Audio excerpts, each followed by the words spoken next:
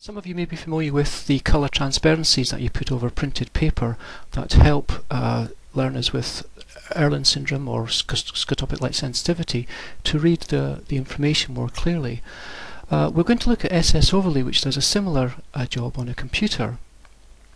So it's not immediately obvious where the ssOverlay is when you first start it because it defaults down to the system tray and you can see here there's the yellow or golden arrow that points upwards. So by simply by right clicking onto the arrow then going into settings it's very simple. There's two options. You can change the transparency or the colour so let's put it down to yellow.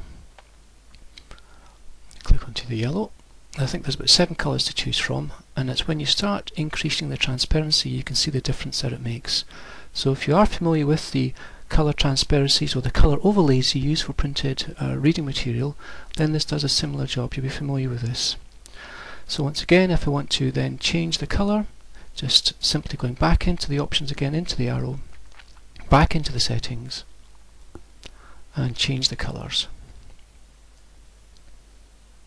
There's a nice aqua blue, and OK to that.